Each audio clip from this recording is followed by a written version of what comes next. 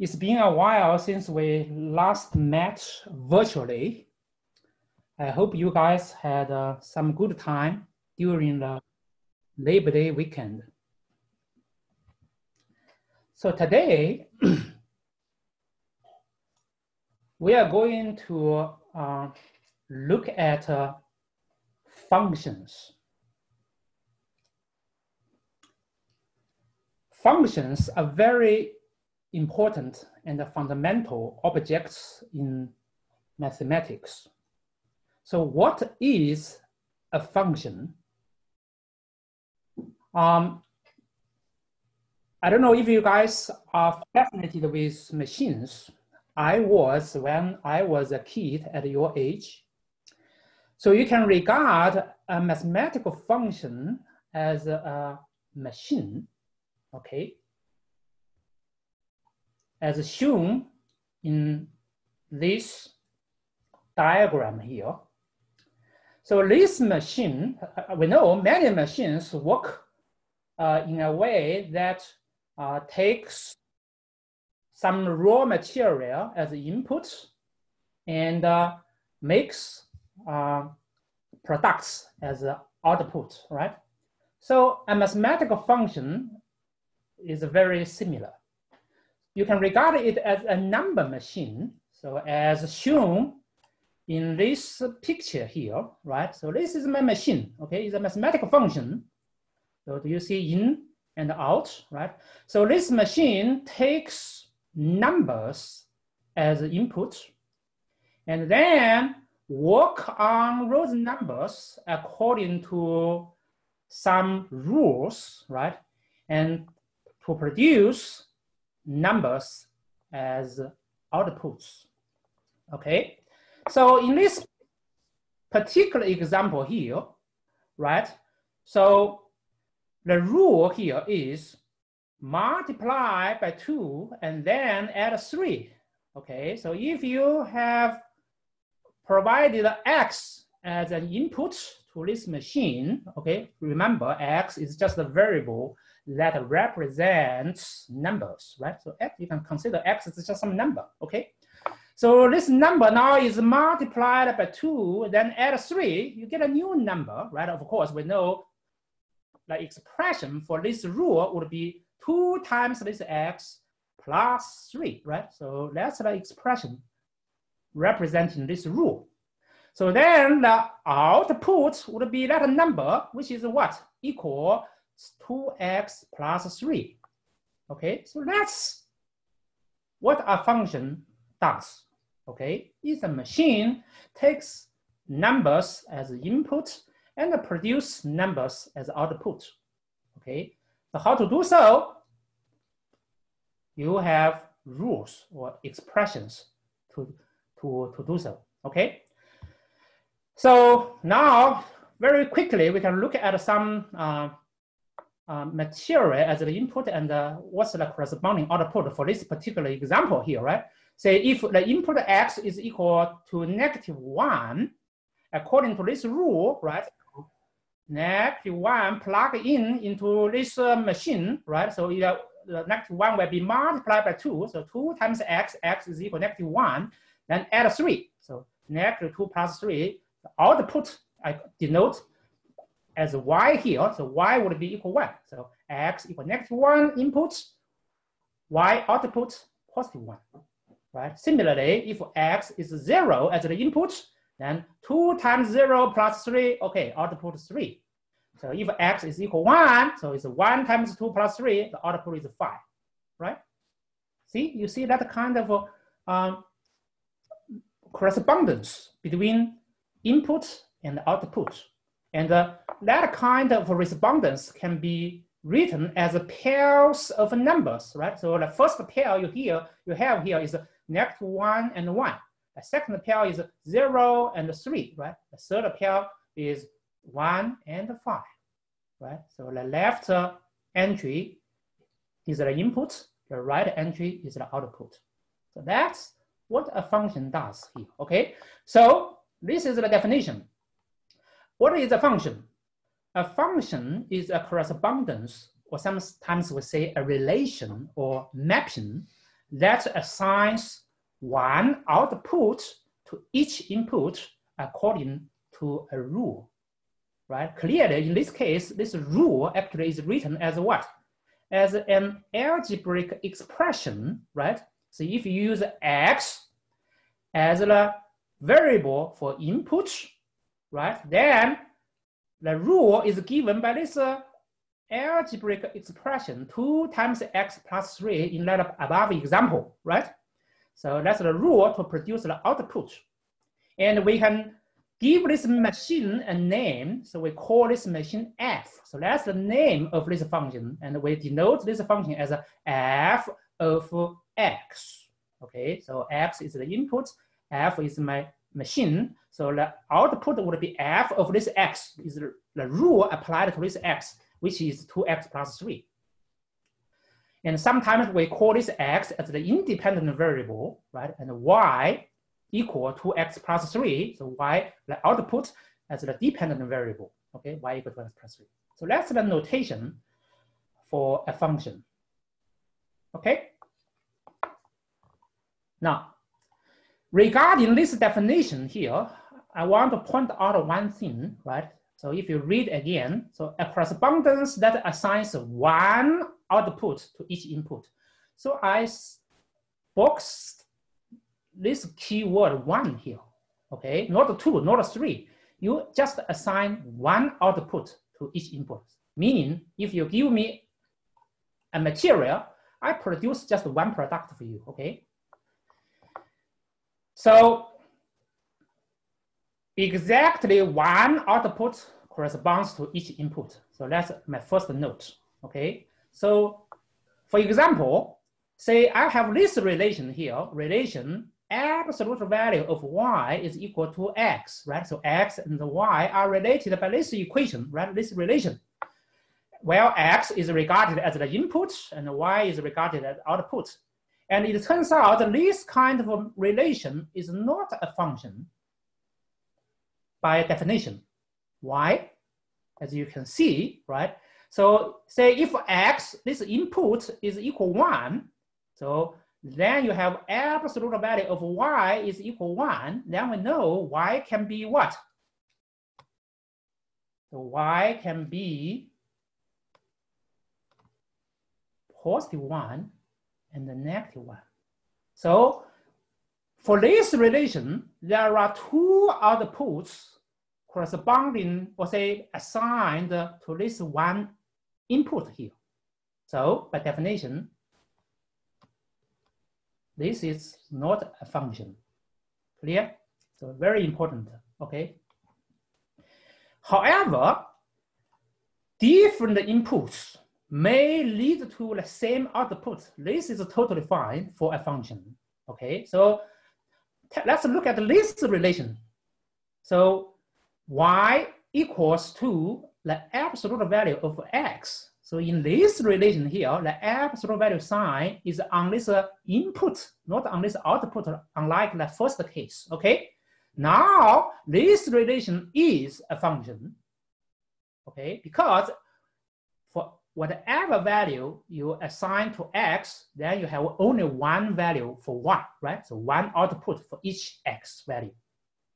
However, if you if the value of x is one and the next negative one, the y value is the same, is one, right? So this is totally fine as long as this one here does not give two different outputs, okay? So you may have different inputs, okay, produce the same output.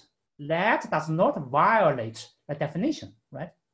So still you can see just one arrow coming out from one what? From one input, right? This one is a function, okay? This relation is a function. And sometimes, okay, later on, so in the next class, we'll, we'll look at this case more closely. So if, okay, if any two different inputs lead to two different outputs, then we say the function is one to one. So one particular input, you get one particular output. One particular output corresponds to one particular input. So it's one-to-one correspondence, unlike the second example here, you see two numbers correspond to same what? Output, right? That's not a one-to-one. -one. So this is one-to-one. -one. Say one assigns to one, Next negative one assigns to negative one. So this function here, y equal x, is a one-to-one -one function, okay? Different x, different y, different y, different x. So that's the definition. I hope it is clear to you, right? So again, right? A machine assigns one output to each input according to a rule. A rule, actually, in our case, is just a, an algebraic expression, right? Working on that input, okay? So to see if you understand this definition, so let me launch this uh, poll question here, right? I give you uh, 30 seconds, okay? Should be quite easy. Which relation below is not a function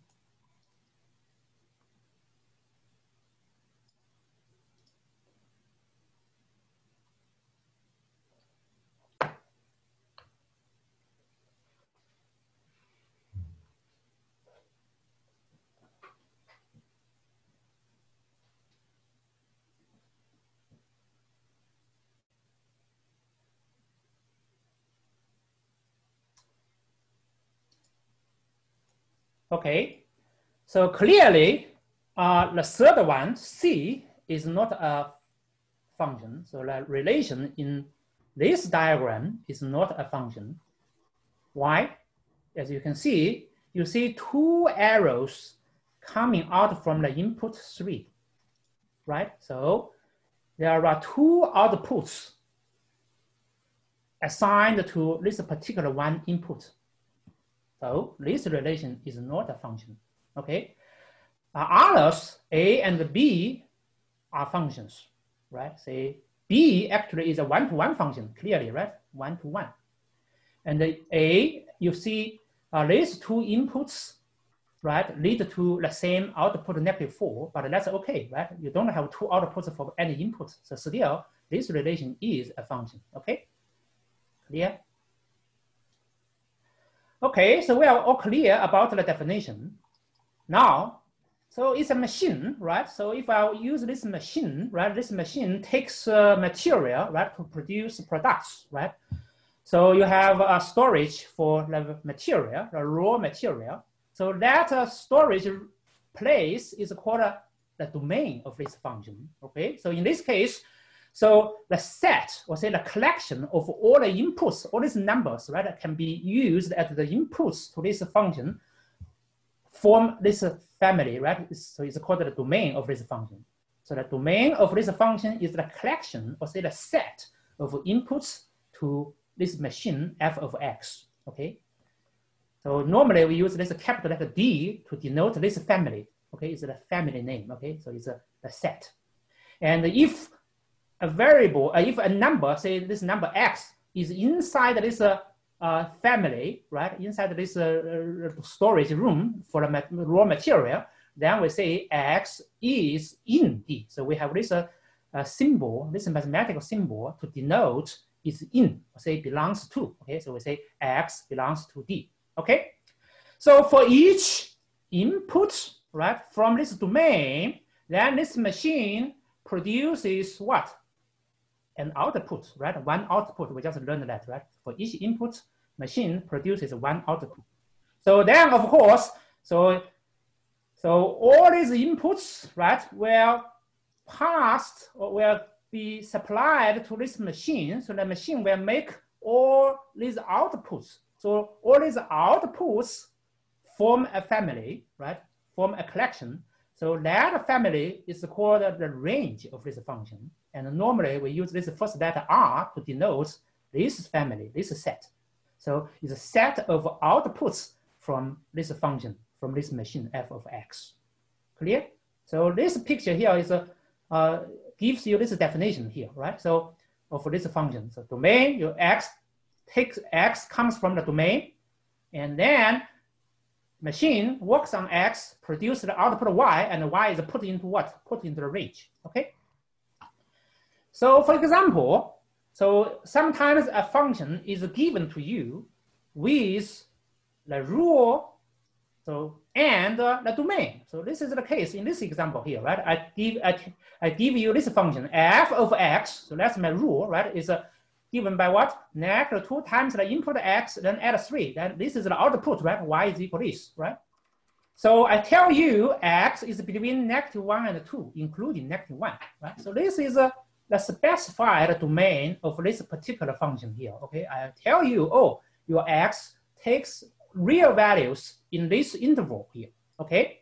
So we can say the specified domain of this function d is equal this interval, okay? So I want to tell you how to um, write down a domain of a function in terms of intervals. So this is called the interval. So this is equivalent to say the input x is between negative one, including negative one, and two, but not including two. So you have, you see this uh, square bracket to include this value and this round parenthesis to exclude this value here. And uh, so the inputs are between these two values separated by this comma here. So this is the notation for an interval, okay? So if you look at this interval on the real number line, you clearly you can see here, right? This is the real number line.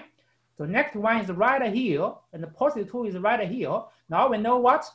The domain of this function would be all the real numbers between negative one and two, right? In this uh, region here, right? In this interval, we see now we see this is the interval, right? Including negative one, so we use the solid dots for negative one, excluding uh, positive two, so we use this uh, open circle, right? To, ex to exclude this uh, positive two, right? We saw this before when we uh, solved inequalities. Remember that?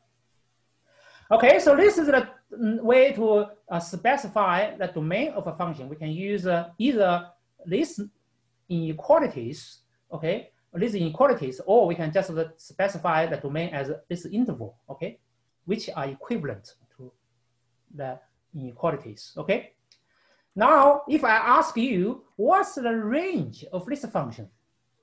So, okay, so my x, so I can use any x value between negative 1 and 2. So what kind of output I can get? So what's the range for, for the output, okay? So you can do so. We know the output is computed as negative 2 times x plus 3, right? So that's the expression for the output.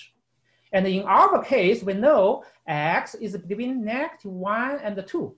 So we want to figure out if x is between negative 1 and 2, what's the range for negative 2x plus 3, right? So very easy for this problem here. You just multiply this x by negative 2, then add 3 and see what kind of uh, inequalities I can get, right? So if I do so, so x multiplied by negative 2, of course, be careful because you are multiplying inequalities by negative number.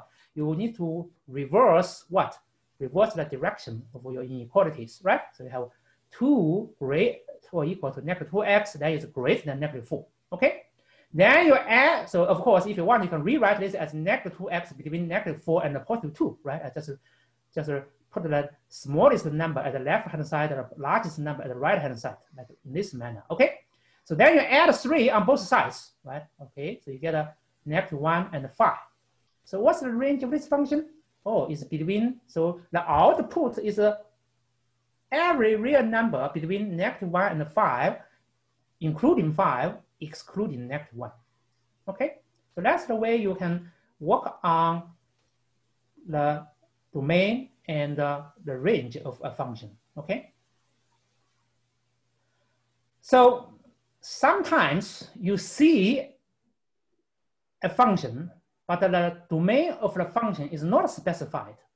If the domain of the function, say y is equal to f of x, so y is the output, x is the input, right? So the output is made from this f on x, right? On this rule on x. If the domain is not specified, so what kind of values of x I can use, right?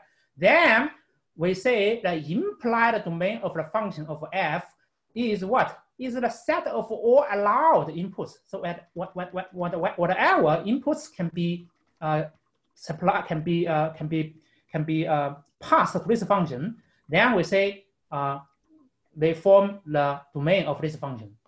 Okay, so for example, say this function fx equal 1 over x, right? I is a real function, so takes in real values as inputs and uh, spits out real values as outputs. Okay, so it's called a real function. And uh, if I ask you, what's the domain of this function? So because I didn't specify the domain, so then the domain would be all the real values that can be allowed by this uh, rule. Right? This rule can work on, on all these values. So clearly you see, oh, it's 1 divided by x. So 1 can divide by any real numbers except what? Of course, we know, except uh, 0, right? Except 0. So the domain of this function would be all the real values except 0. That's the way to tell this domain using uh, words.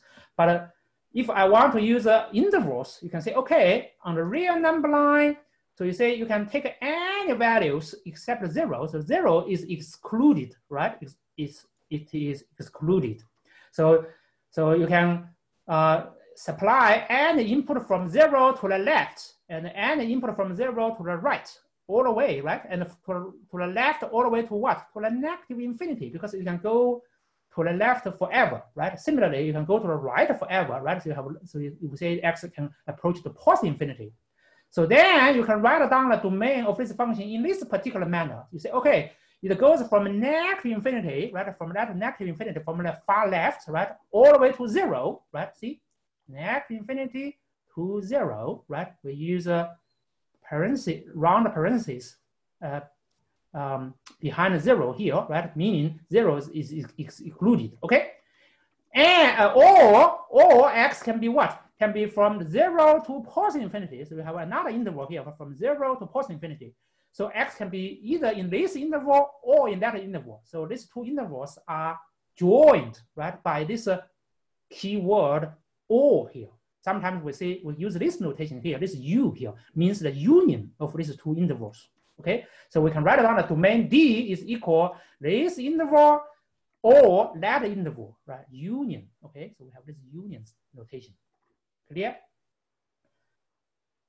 So to give a try, so what is the domain of the following function? So this is the poll question. Okay, so you can give this problem a try.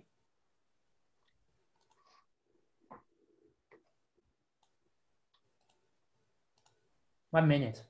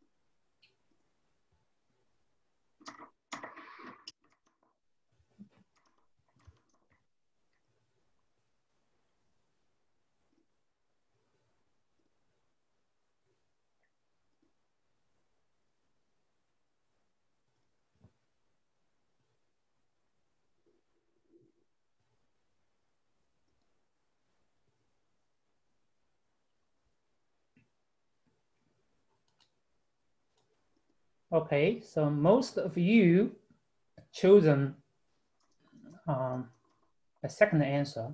So one not included, two included, okay, from one to two. That's the correct answer. So, so let's work on this problem here.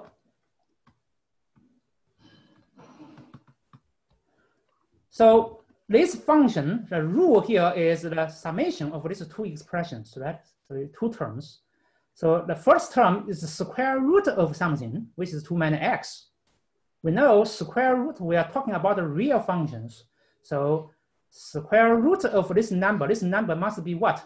must be the square of something, right? So this number must be non-negative, right? So 2 minus x is the square of a real number. We know square of a real number is non-negative, greater or equal to 0. So from this term, okay, square root of 2 minus x, this term, we know to make this uh, valid, we require 2 minus x should be greater or equal to 0, non-negative. And similarly, square root of x minus 1, right? So x minus 1 must also be non-negative. However, square root of negative, uh, square root of x minus 1 is on the denominator. So this guy cannot be 0. Otherwise, you divide by 0. So this term, 1 over square root of x minus 1 requires x minus 1 must be a positive number, cannot be 0 right? So in the first case, we know x must be what? Must be less or equal to 2, right? If you move x to the right-hand side, x less or equal to 2. So for the second term, we know x must be greater or equal uh, greater than 1, not equal to 1.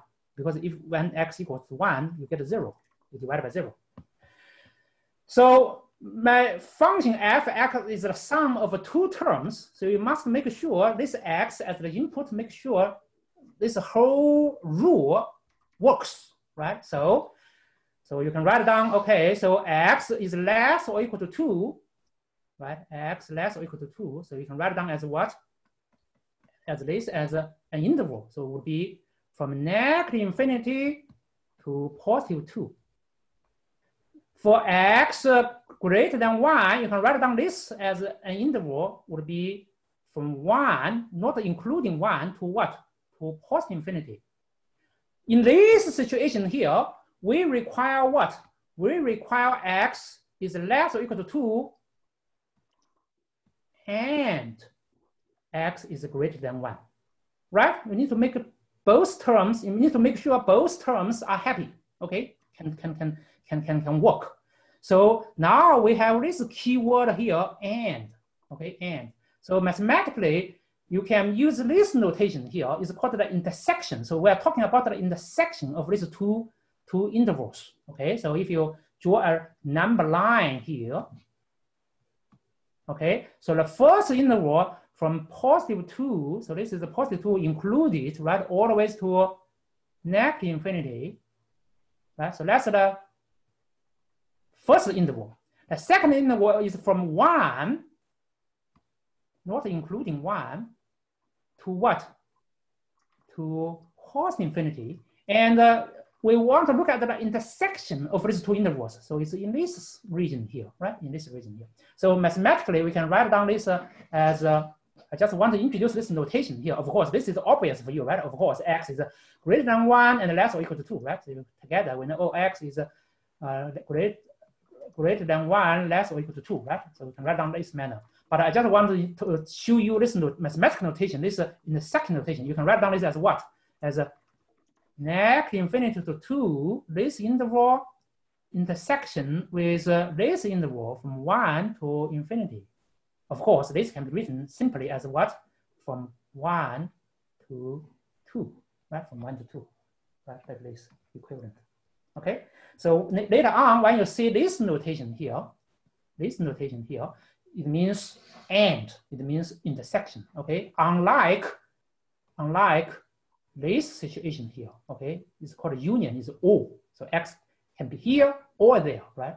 But here, X must be in both, right? Must be in both, in both intervals. So that means you are talking about the common region, okay, of these two intervals. Is that clear? Okay, so let's move on. So I think at this point we are very clear about uh, the definition of uh, a function, right? And we know what a function is, and we know what is the domain and the range of a function, right? What are the domain and the range of a function? So then you may ask, right, why we want to introduce such uh, objects, right, in mathematics are called functions. And I already mentioned at the very beginning, I say functions are fundamental objects, was a very important objects in mathematics, right? So later on you will study functions, right, in, in, in, in many different courses, okay? So why do we need functions? And as we already know from the definition, we say the function actually is uh, somehow you can regard a function as a relation between two quantities, right? So one quantity is the input is x, another quantity is y. So then this function establish the, establishes the relation between x and y. That's very helpful in real applications. You can use functions to what? To describe relations. Okay, so it's like a modeling, right? You can model a lot of real world problems, okay, or phenomena by functions. Okay, for example, say when you do weather forecast, the temperature can be regarded, so the temperature in, in, in, Dallas, right, can be regarded as a function of time. So if you know that a function, that means you can what? You can predict the weather at whatever time, right? So, so it's very important, right? We, we, we, we, we, we study functions, okay? So to, to give a taste, right? So this is a very simple modeling problem. Say the area A, right? I use this symbol A to denote the area. So the area A of a circle with the radius R is a function of R, right? So you have a relation between the area and the radius, and everybody knows that A is equal a function of R. And where this function f of R, this rule is what? Pi times the square of R, right? We know that rule, right? So it's pi times R square, you get the area, right? So now if you know, oh, R is equal one, so what's the area? Pi R one square. R equal two, what's the area? Pi two square, right? So you can easily find the area using this function here, right? So to give an example, right? So let's work on this poll problem here. If a rope of the length 10 is to form a rectangle with one side length x, can you write down the area y of this rectangle as a function of x? Okay. So I give you one minute, okay? to work on this problem.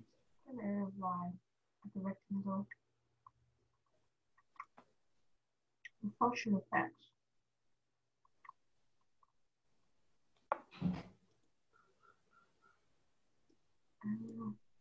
Before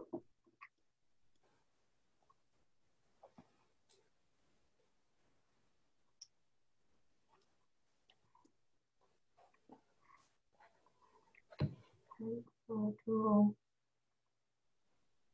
X.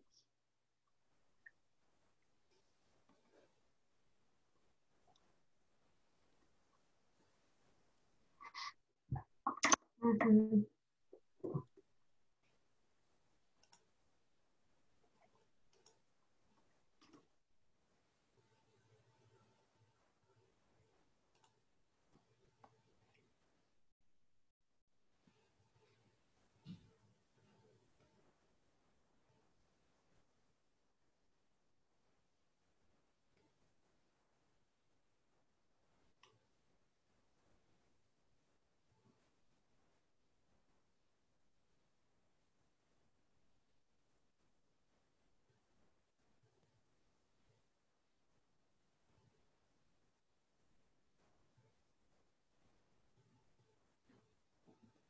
Okay. Let's take a look. Okay. I think this time um, the answers are all over the place. So let's take a look. Okay.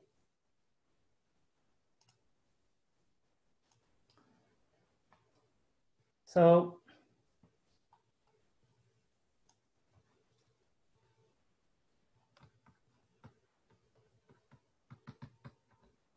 So you are given a rope. So say this is the rope, right? And we know the length of this rope is what? Is 10, maybe 10 meters or 10 feet or whatever, okay? 10, so we don't care about the units okay, right now, 10. So I'm going to use this rope to what? To form a rectangle, right? So you just the, uh, bend this rope, right? A bend and bend and bend and the bend.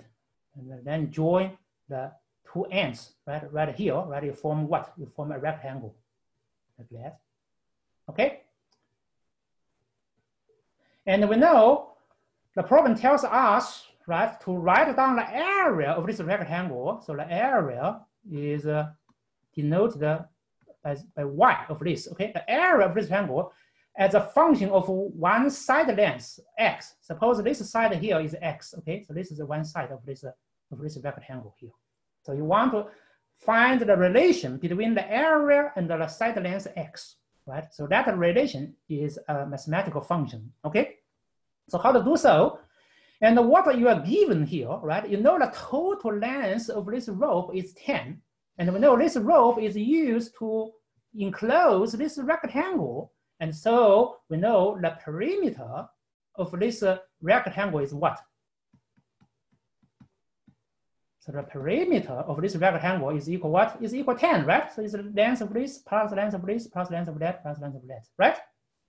So if this side length is x, then we know the opposite side is also x, right? So what's the side of this? What's the length of these two sides, right? Same thing, right? So now we know, okay, so 10 is equal what? Is equal x plus x plus two times this, this, right? You have two of this, right? So two times this side length I call it d right? If I want. So what is d? So d is equal 5 minus x. Of course, that's obvious, right? Because you know, you know this half of this rope here is what? Is 5. So this is x, of course. This should be 5 minus x, right? That's another way to think about it, right? So now if you know these two sides, right? 5 minus x and x, so we know the area is just a simple matter, right? So we know what? We know y is equal x, this side times that side, 5 minus x. So if you distribute, you get 5x minus x squared. So that's my function, okay? So area as a function of side length x. So what's the domain of this function? This is a real world problem, right? It's application problem, right? So we know the length, the x is the side length. So length cannot be what? Cannot be zero or negative. So x should be what? Should be greater than zero, okay? So that's from the physics of the problem, that's the restriction, okay? But also we know, so the total, so the five, so x plus another side is what? Is equal five. So if I want to make this sure, this d, this side here, right? This guy, that's another side. This guy should also be what? Should be positive, right? Should be positive. So five minus x should be positive positive too, right? This is the, the, the, other side. So that means x is what? x is less than 5. So together, you know what? So x should be between 0 and 5. So that's the domain of this uh, function here, okay? So this just give you a taste of uh, the usefulness of uh, functions, okay? So we do need functions, okay, in to model real world problems. Okay, you will do some similar homework problems like that. Okay, to try to establish a function. Okay, now, so we know what a function is, and we know a function is useful, right? So now, okay, so we will we'll talk about how to um, compute outputs from inputs. So that's called evaluating functions. And also sometimes you may have an equation, right? Relating function, uh, uh, uh, a function satisfies, and then we want to try to find out that function. So it's called solving function equations. Okay, so so that's the next topic here. So these two topics are related, as you will see. Okay, so evaluation, eval, evaluating a function is very simple, right? Because if you know that rule, you just apply that rule to the input, right? So again, take this very simple example as a as a, my uh, starting point here. So consider fx equals to 2x plus 3, right? So this machine, okay, fx is 2x plus 3. So x is the input, then y would be the output, which is computed as 2 times x plus 3. So if x is equal 1, so y is equal 2 times 1 plus 3, right? So if you want, you can compute, right? That's a simple matter here, right? So you can compute oh, this would be equal what? Oh, equal 5 right? So if x equal 2, then 2 times 2, right? Because x now is equal to 2. You replace this x by 2. So 2 plus times 2 plus 3, so you get a 7. Okay, now how about if x is a 3 plus 4? Now my x is a, an expression. This is called a numerical expression, of course, right? So 3 plus 4. This is just a number. At the end, if you compute it, it's just a number. But I'm not, a, I'm not, I'm not to compute. I just uh, leave it alone. I just leave 3 plus 4 alone. So what is y, if my x input is 3 plus 4? So all you need to do is what? Replace that x. Now this x is equal what? Is 3 plus 4 as a whole, right? Of course, don't forget to use parentheses when you want to um, when you want to uh, uh, uh, uh use a whole of something, right? So parentheses 3 plus 4. And clearly we know it's just seven, right? It's two times seven. But I, I, I, I wrote down this way, so I have a purpose here, as you will see, okay? So if you want it, then you can compute, right? Oh, three plus four, seven, two times seven, 14, so it's 17, right? You can do that, okay? So what you noticed here is this x, this variable, right? This x is, the, is a variable to represent the input. So this x here is a variable represented by sometimes called independent variable.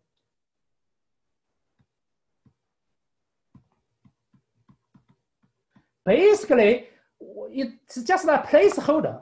We can use a theta, you can use t.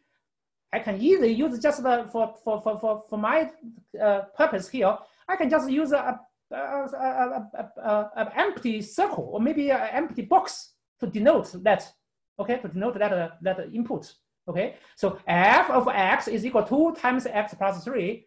So whatever, as long as at the end of the day, this x is just a number. So you, you can you can say, oh, f of this uh, box here is two times that box, or say two times this circle plus three. Okay, you can put whatever number here, right? So this can be a number or can be an expression. And we know an expression at the end of the day, if you evaluate it, it's just a number, but it's just a number in disguise, right?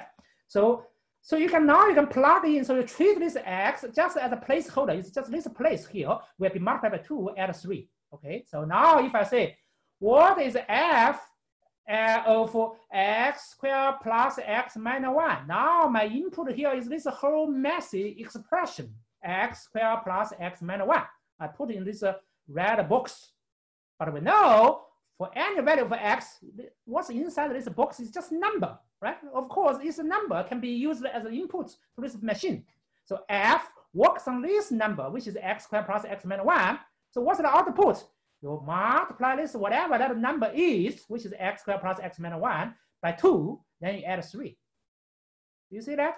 So the independent variable, that x, is just a placeholder. Okay, so you can substitute this x by a number, of course, or an expression. Okay, later on we can even substitute a function over there as you will see. Okay, it's called a composite function. We'll get to that shortly. Okay, so you get a something like this, right? So very simple. So now and vice versa. So in this case, we know f of x squared plus x minus 1 is equal what?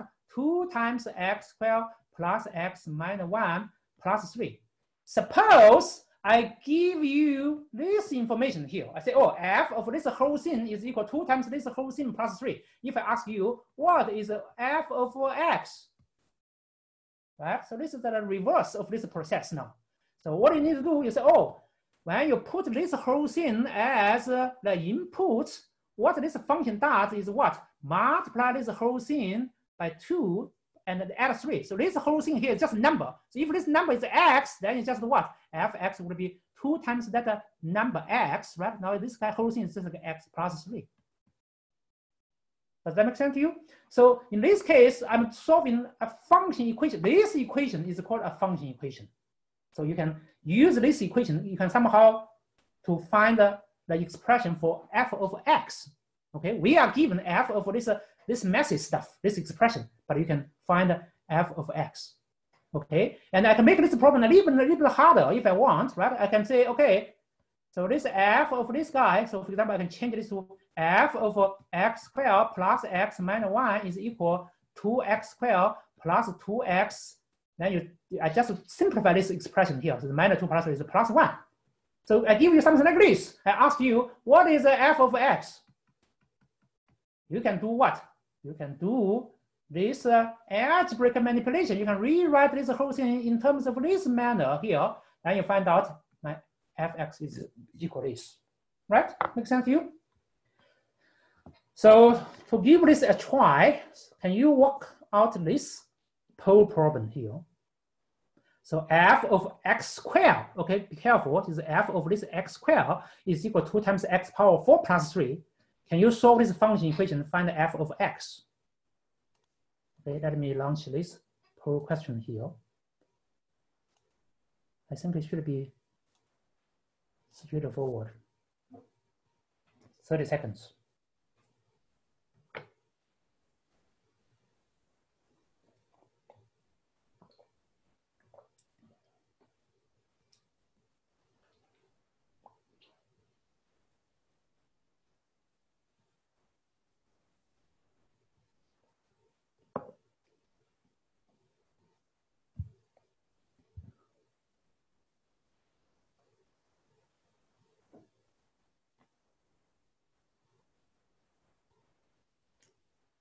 Let me give you one minute, okay? I want to see more responses.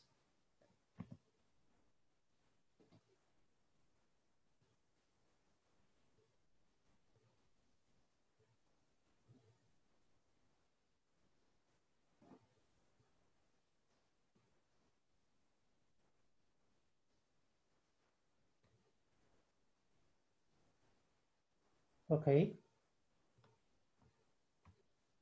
I think most of you got it right, right? So it's 2x squared plus 3. So how to do this problem here? So one way you can do this problem would be, we know if you consider this x squared as a whole, so you say, okay, this is just a number, right? x squared is just a number. So if I supply this as the input, so what's the output? The output will works on this x squared. So how does the machine work on this x squared? You want to see x squared, right? So you would rewrite this as so x power 4, you can write down this as x squared power 2 or x squared times x squared, either way, right? So then you say, oh, if x squared, oh, let me finish this, right, plus 3. So if x squared is uh, my input, the machine will square of this guy, then multiply by, uh, by 2 and then add 3, right? So what is f of x? So if you have x as the input, then would be what?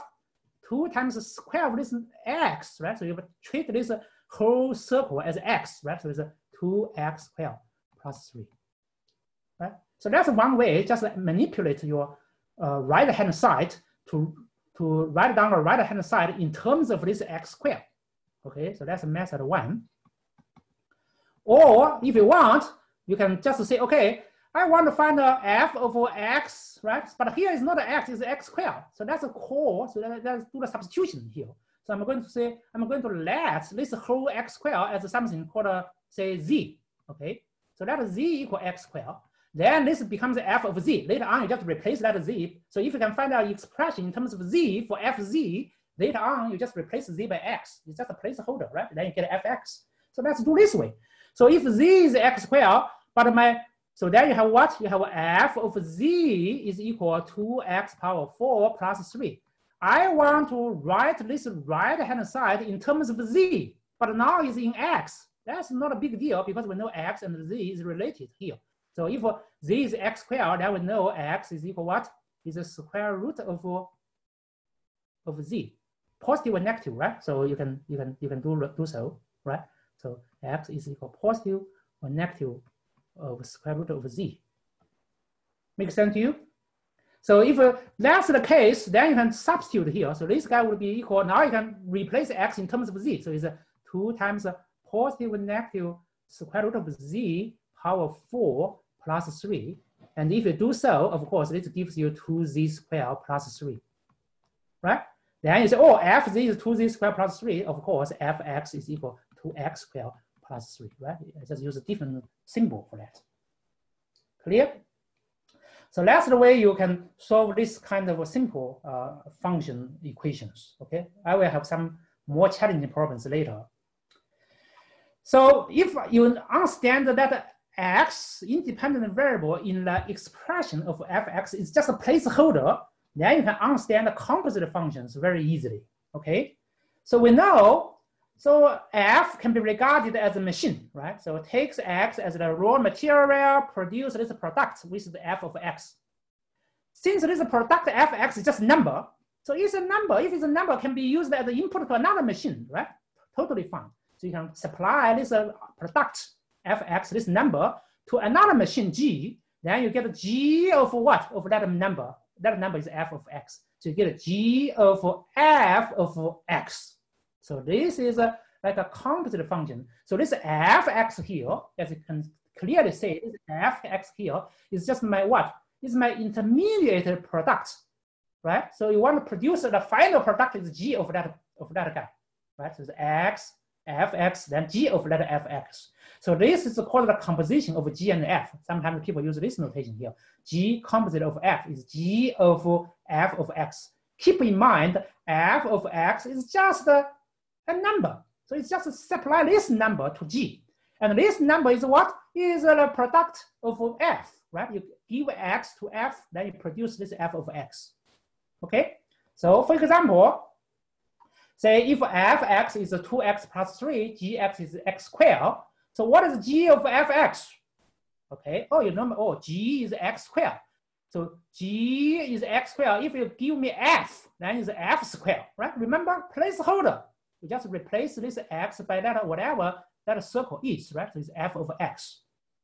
Then what is fx or f of x? To give me x, what is f? Of course, it's 2x plus 3. So the answer of is 2x plus 3 together, then square. So that is g of f of x. Okay, now similarly, you can compose comp you can composite f and g, right? So you can pass a value x to g to this machine, produce this number g of x, this number. Then, but, but, then you provide this number to f.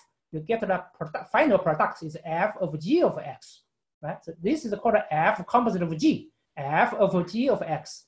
So so if I use these two functions, right, f 2x plus 3, g x squared, what is f of g? Oh, f of g, so is f, so f is 2 times x plus 3. So if f on g, then you just replace this x by g. So it's 2 times gx plus 3. Placeholder, right? So what is g? Oh, g is x squared. So then you substitute gx, you get 2x squared plus 3. So very simple, okay? So you can, you can form composite functions of two functions. And clearly, you can you can do more, right? You can go beyond, right? You can you can uh, make a uh, final product using three machines, right? You can do composition of three functions, four functions, five functions. You can do these kind of things, right? Now, remember, just a number to number, right? A number as input, uh, spits out number as output, right? You can you can you can you can make sense of all this, okay? So um, one minute, okay, to work on this pro question. Then we take a break.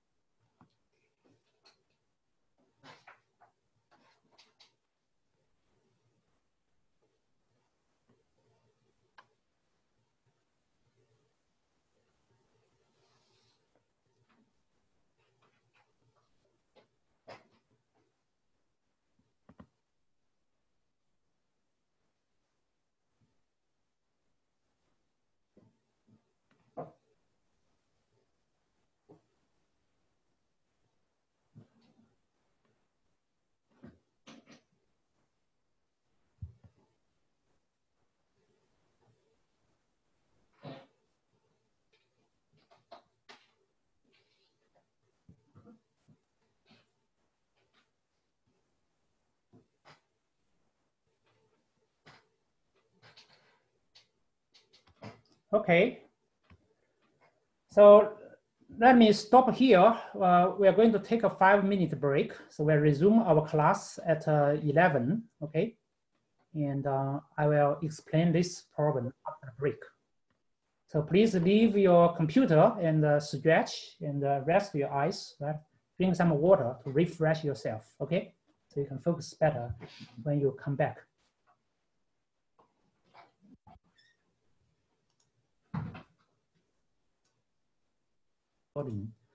Okay, so let's take a look at this poll question here. So you are given the function f of x, right? You are asked to find the f of f of negative x. So to do so, right? So you know, so is negative x is a passed to what? To f, right? Then the output number is f of negative x. Then this f of negative x is passed to this machine f again, then you get what? You get f of f of negative x, like that, right? So to work out this problem, you want to evaluate this f at negative x first. So that's the first step here, right? After you get this f at negative x, then you use this as the input, then you evaluate f at that input. So that's the second step, right? So step one, so what is the f of a negative x? So remember, x is just a placeholder. So 2 times the input plus 3, okay? So now my input is negative x. So it's 2 times negative x plus 3, which is equal negative 2x plus 3. So that's the intermediate product, right? Right here. Then this number, this expression, of course, at the end of the day, is just a number, right? This number is passed to this f again. So now you do, okay, what is the f of f negative x so it's f of what? f of negative 2x plus 3, right? You use this as the input. So according to the rule, you multiply the input by 2, placeholder, right? So 2 times negative 2x plus 3 as a whole, right? Then you add 3. Then it's a matter of simplification. So it's negative 4x plus 6 plus 3 is plus 9. So the answer is negative 4x plus 9. Okay? Now, let's uh, move on to function equations. Actually, we already solved a few simple function equations. Let's, let's take a look at some more challenging ones. So, for example, so if I tell you a function f of x satisfies this equation here, this is called a function equation. So f of x plus y is equal x plus f of y for any x and y, okay? And also I tell you f of zero is equal one. What is the value of f 2020? So how to do this problem here? So if I know the expression, if I know the expression of fx, then f of 2020 is a matter of evaluation. Simple, right? So however, I don't know the function expression here, right? I just know this equation here. So one way you can try is can I use this equation to solve for fx to find an expression for fx, or say to find that rule, right? So, or say the mechanism of my machine, right? So very naturally, you want to try what? Because the problem tells you f at zero is equal one, maybe I can try what? Try to plug in y equals to zero, right? I get f zero here, I can use that, right? However, if I do so, then x plus zero is just x, then immediately I know fx. So f of x plus 0 is equal x plus f0. Then you see oh, well, fx is equal x plus 1 because f0 is equal 1. Then I get what? I get the rule, right? Expression for fx. Then f 2020 is simple. This is 2021.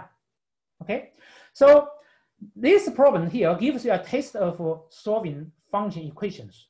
There are no um, magical recipes, okay? So when you have problems like that, you have to try. So how to try? You try to substitute various values, right? Or expressions for variables in this uh, function equation. So in our case, I tried to substitute y uh, by zero, right? Because I know f of zero is equal to one. And if I do so, and x plus zero is just x, right? So that's uh, obvious in this case, okay? So in other problems, you may try all ways, all kinds of uh, combinations, okay? Try to substitute various values or expressions for the variables in the function equation. But uh, keep in mind, when you do so, you don't want to do random things, right? You keep in mind what's available, right? So, so with given conditions and needed solutions in mind, right? You know, I want to find this, and I know this, right? Keep those things in mind when you do these substitutions, okay? So give this problem a try. This is a little bit more challenging here. So can you find the expression for fx, find fx, if fx satisfies this function equation for all x and y, and also I know f0 is equal 1. Can you give this problem a try? So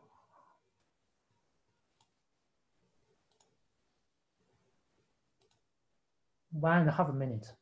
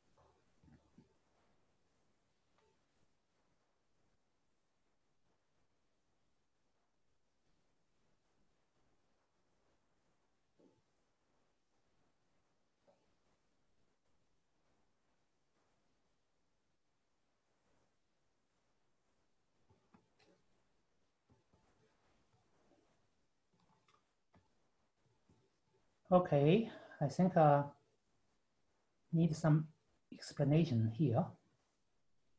I'm not going to share the results.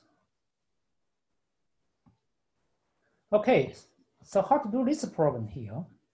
So the function equation is this one, right? And you want to find the f of x, but what you see in the equation is f of x plus y as a whole and f of x minus y as a whole, right? So how to get f of x? So remember the general guideline, okay, it's not a, a magic, it's not a, we don't have a magic recipe you can apply it to everything, okay? So you just try, right? Try substitute various values or expressions for variables, right? Keep in mind of uh, the given condition and the, the, the, solution you want to find, okay? So in this case, you know f of zero is equal one, and uh, so one way you can try is, okay, maybe I can substitute, right? Substitute y to be, because this is true for all the x and y, so y can be equal x. So if I let y, substitute y equal x into the equation, then I have what? I have fx plus y, y now is x, right? y can be x, okay? Minus f x minus x. Why I'm doing so? Because I know f0 here. So maybe that's a good idea. Okay, so you get a f0 equal 4x, y is x, so 4xx. So immediately you get what? f of 2x minus f0 is equal 1 is equal 4x squared. So f of 2x is equal 4x squared plus 1. Aha, this equation now is much easier to handle than the original one, right? Basically, it tells you it tells you what f of this whole thing here is equal 4x squared plus 1, right? This whole thing is just a multiple of x. So you can easily do a substitution here if you want, right? You can say, oh, let z equal 2x. So then you have f of z is equal, so then we know x is equal z over 2, right? So it's what is 4 times uh, z over 2 squared, right? x is z over 2. So you get fz. So if you know fz, that means you know fx. So f of x is equal what? So this will be x squared plus 1 because this is equal 4z squared plus 1. Uh, z squared plus 1. Okay, Or if you want, for this situation here, you can immediately manipulate this guy as what? Because I have 2x, we just separate the 2x out. So you find out, oh, this is just equal to 2x square, right? So then you know, oh, f of this guy is equal to square of this guy plus 1. So fx is x squared plus 1. Okay? So that's uh, the way to do this kind of problem, okay? So sometimes you want to try y equal x, sometimes you want to try maybe y equal negative x, and so you just uh, you just uh, try different kind of substitutions. Okay, try to get uh, uh to your desired uh, solution. Okay, so I have some homework problems like that. You can you can try. Okay, so that's the topic about um, function evaluations and the function equations. So let's now move on to talk about graphs of functions. So we know a function is like an algebraic uh, uh, concept, right? It's just like a number machine, right? Input, output, right? Rule, rule. Some normally you see right now is like an algebraic expression, say that 2x plus 3 or x squared minus 1, right? Just an algebraic expression involving that input, right, to produce output. So when you say a graph, graph is more about like a geometric uh, concept, right? So how can you make that connection? So what do you mean graphs of functions? So to do so, okay, as we already know, right, a function can be regarded as a relation between two quantities, right? Input x and output y, right? So if you put here, right, so this x is my input and y is my output of this function, right? So for each input, a function assigns an output. So then you can form a pair of real numbers, right? X and Y together, you have a pair of real numbers. So when you have a pair of real numbers, what I can do here is now I can form a correspondence between this pair of numbers and the point in a plane.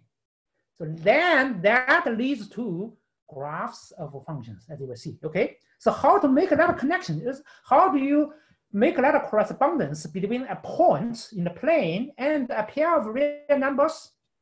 So I think all of you already know, right? We use what?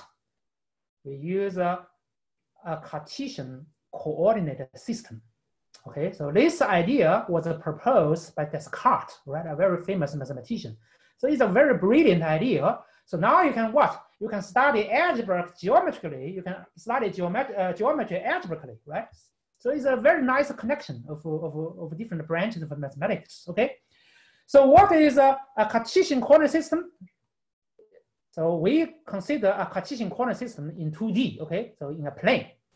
So the way you establish this system is very simple. You just put two number lines, one number line horizontally, another number line vertically and they intersect at the, the point, that point is the number zero on both number lines. Okay, so that point is called the origin, of course, it's the origin of this number line and origin of that number line too, right? So when you do so, now you have two number lines. So any point, say this point P, right, in this plane, can now be what? Can be represented by a pair of numbers and vice versa. Any pair of numbers can be assigned with a point in this uh, plane, right? So you have this one-to-one -one correspondence now, okay?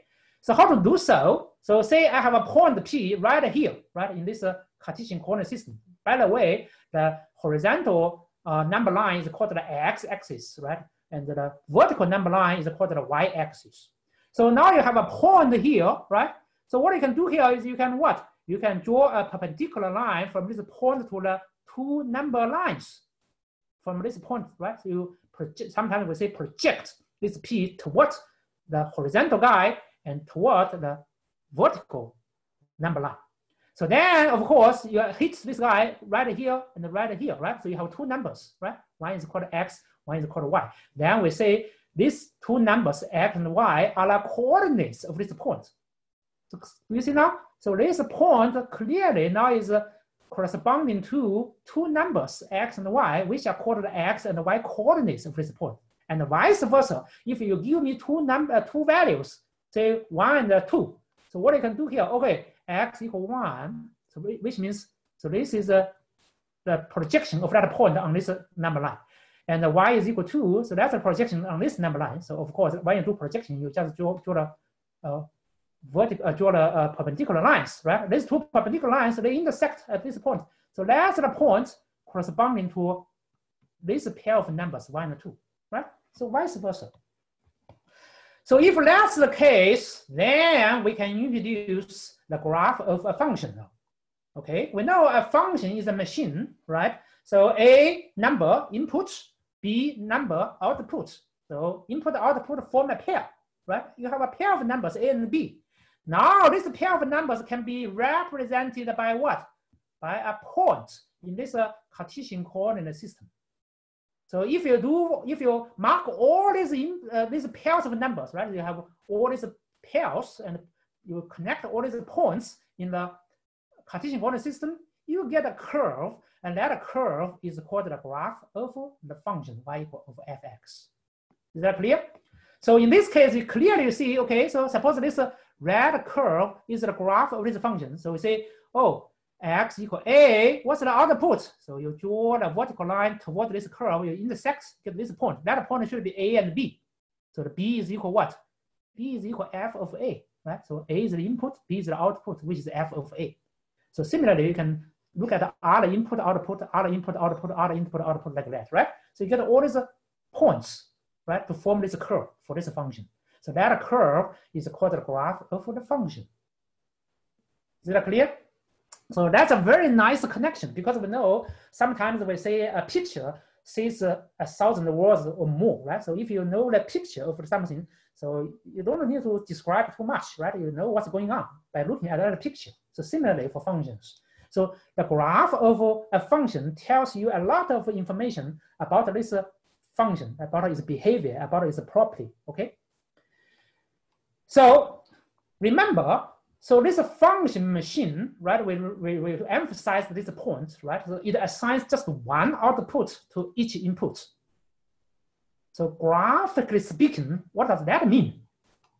So that means if you supply a number A, so this A here, as the input to this function, so you draw a vertical line and you hit the graph of this function, then you should get what?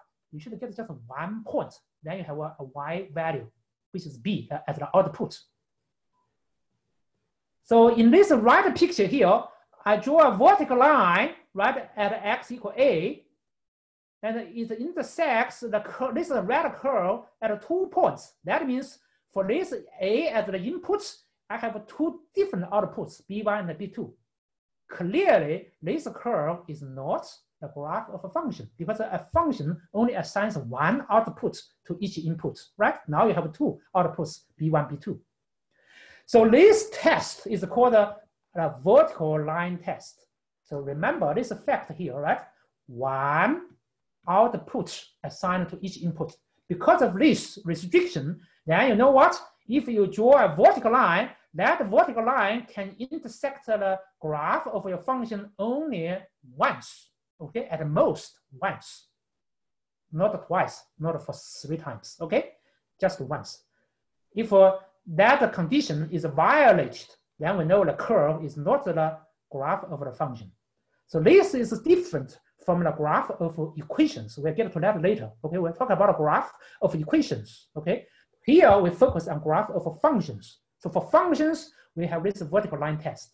But for graph of equations, we don't have such restrictions. Okay, you will see that later. Now, so okay, now we know what a graph of a function is. So you may say, oh, how should I find the, how to draw that graph, sketch that graph? Okay, a very brute force approach, right, would be what? Say, again, I take this initial example as uh, the case here. Say I have this function fx equal 2x plus 3. What's the graph of this function? I think of you know it's a line, right? It's a line. You, you already know that. So suppose we don't know that, right? How am I going to sketch? So a very simple way is to establish a table with pairs of numbers, right? So okay, I'm going to try different inputs and see what are the outputs. Then you have all these pairs of numbers. If you have these pairs of numbers, then you can mark the points in the Cartesian coordinate plane. Then you can somehow get the idea of the graph of this function, right? Because you know a lot of points on the curve, right? So that's what I'm going to do here, right? So say for this function here, fx equals to 2x plus 3. So x equals negative 2, you compute y is negative 1. Negative 1 means 1, 0, 3, 1, 5, 2, 7, right? So you mark, oh, negative 2, x equal negative 2, y is equal what? Negative 1. So it's this point here, then it's this point here, that point, that point, that point. So somehow you connect, you almost get the graph of this function. Looks like a straight line, that's right, okay? But we will explain later why the straight line, okay?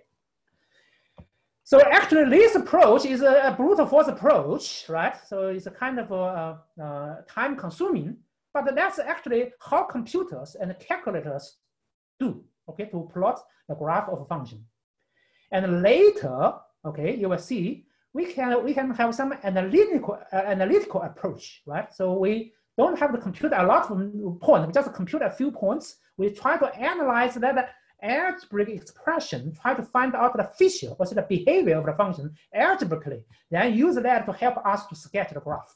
So that's a more advanced approach, and we will get to that point later.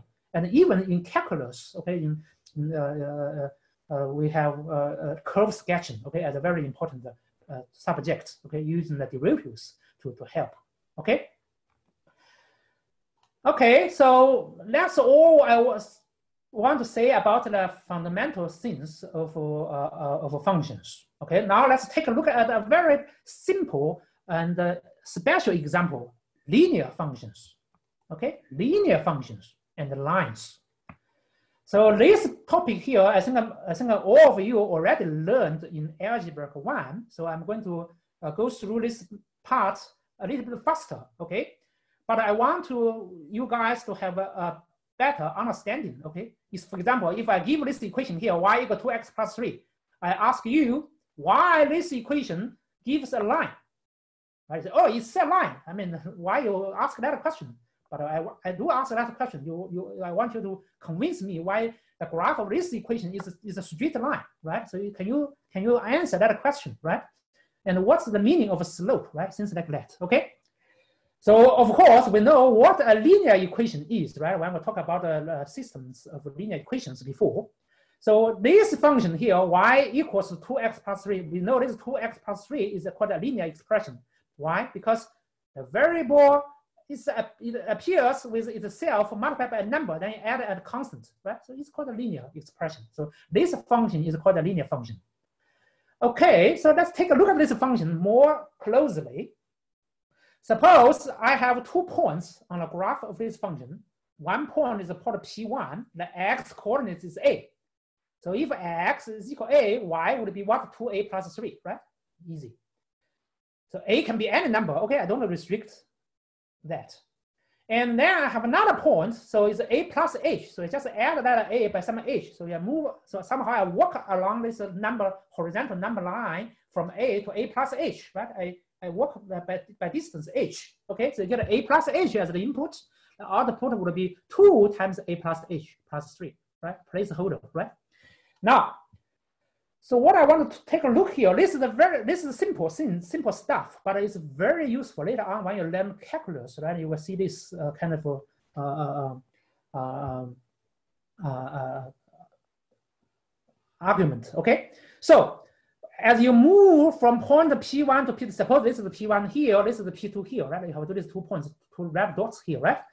So what's the change in X? Oh, that's easy. So it's A plus H minus A. That's the change in X. It's just H. A distance is H, right? So I use delta X. Okay, this is triangle symbol means delta. Okay, so it's just a notation for, for change. Delta of X, changing X is H.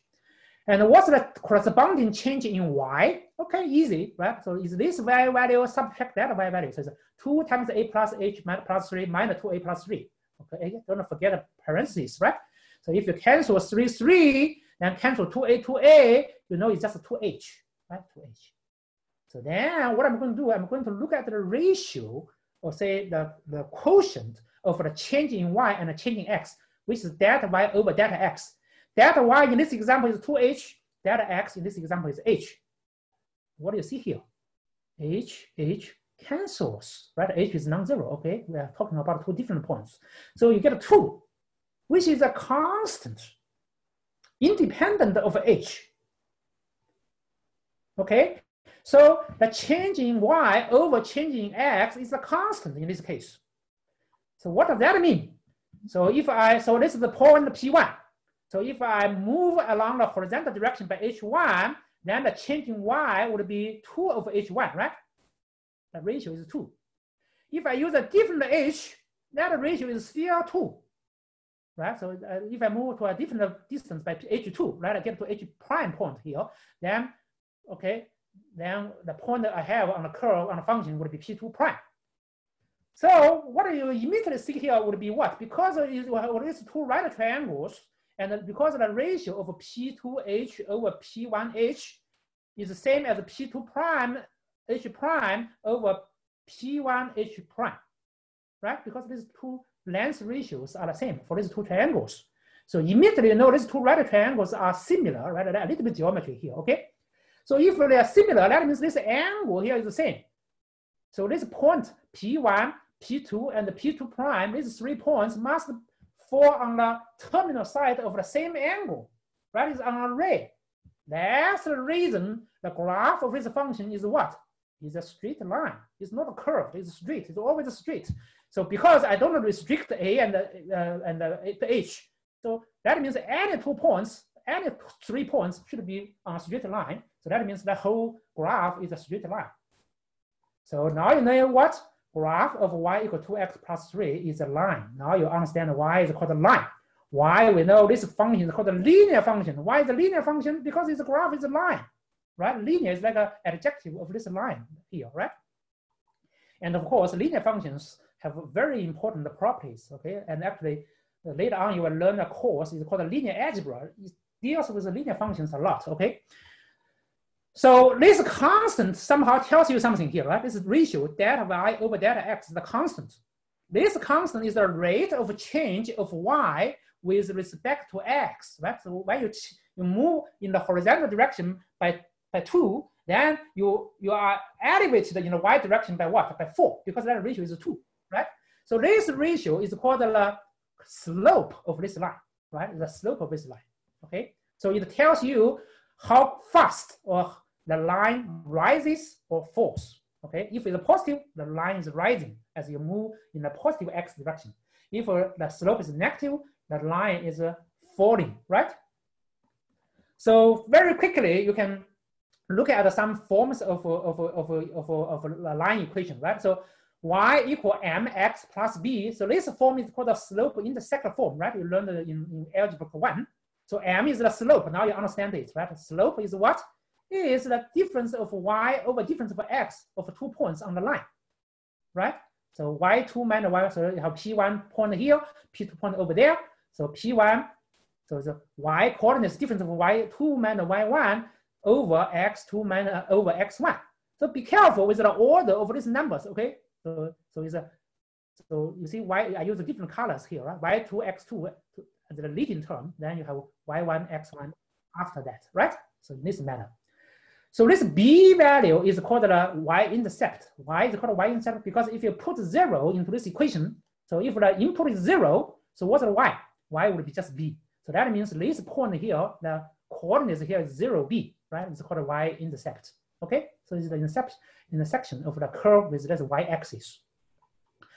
And very easily you can see two lines, or two different lines, they are parallel if and only if they have the same slope. So in your homework problem, I ask you to prove that, okay? So if two lines have the same slope, they are parallel, and vice versa. If two linear equations have the same slope, then the two lines are parallel. Okay, remember that fact. And if two lines are perpendicular, okay, two lines are perpendicular, suppose uh, none, none of them is vertical, okay, then you know what? The product of the two slopes is equal negative one. So that's another bonus problem, okay, I want you guys to prove, okay? So those are very important facts I want you guys to, to, to, to know. So to give an example, so can you do this uh, poll question here? So I have two points, P and Q, right? I tell you the coordinates. So these two points are on a number on the line L1. So what's the slope of L2 if L2 is perpendicular to L1? Can you um, try this poll question here.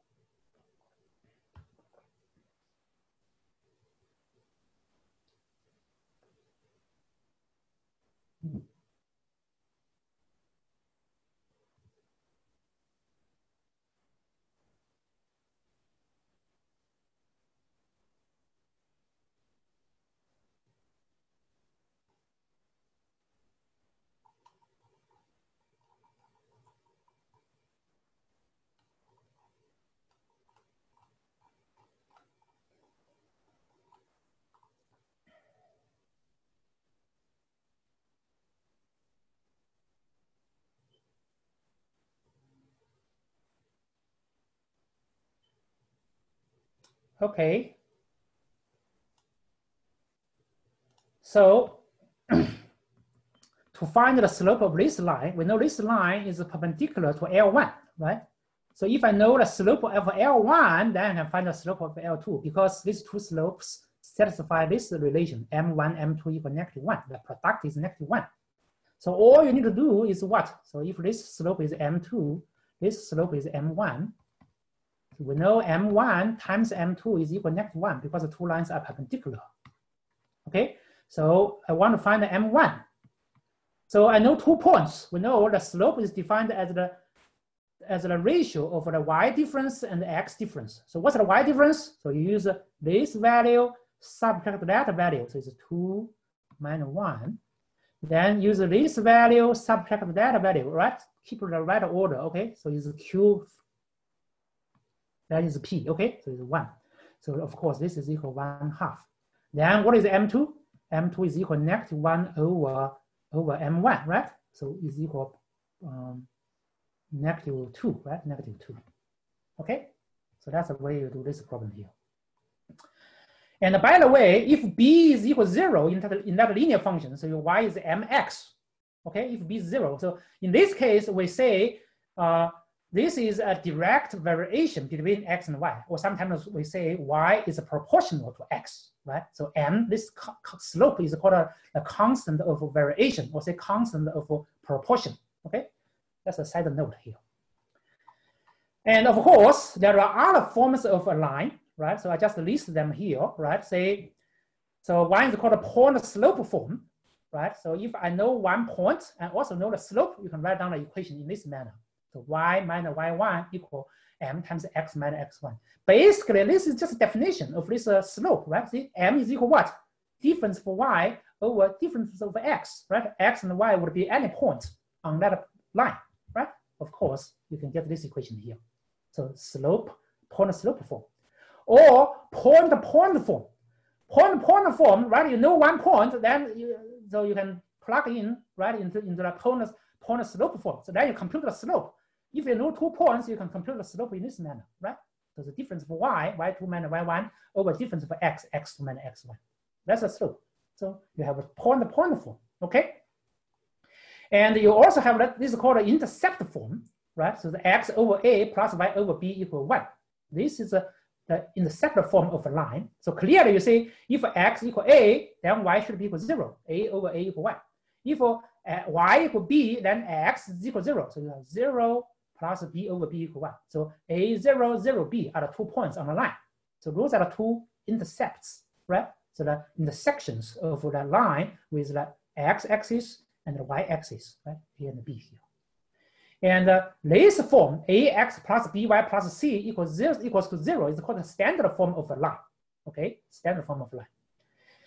And we do have two special lines. One is a horizontal line. So if the slope is 0, right? Then y is just equal what? mx plus b. m is zero, so just equal b. So y is always equal b. Whatever x as the input, your output is always a constant, right? So this machine is lazy. Okay, you give me anything to me, I just give you b. Okay, I don't do anything, just give you the same thing. Okay, so that's this lazy machine. This uh, is called a constant function. So the function is just a constant. fx is always equal b. Does not, does not matter what x values you input to this machine. Okay, so slope is zero. And if uh, you have a vertical line in the Cartesian coordinate system here, right, like this. So you denote as what? As x is always equal a, right? Y can be any value. So in this case, it's a, a vertical line, it's like a cliff, right? So the slope is undefined. Or say the slope is like infinity, okay? It's a, it's a, it's a cliff, vertical.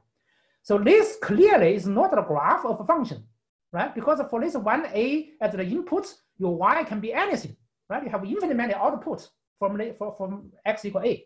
So be careful, okay? A vertical line is not a graph of a function, okay? But it's a special line. With that, I'm done with today's lecture and uh, and uh, uh, uh try to work on your homework problem um, as early as possible, right? So to, so you can finish it on time. And also um, after uh, Wednesday's recitation, I'm going to post the first exam, okay? According to my schedule, uh, we will have uh, the first exam after four lectures, okay? So, to keep that in mind, okay? So that's all for today. And uh, if you have any questions, you can stay and ask. ask otherwise, um, I will see you guys on Wednesday. Bye. Have a nice week. Thank you. Bye. Thank you. Bye.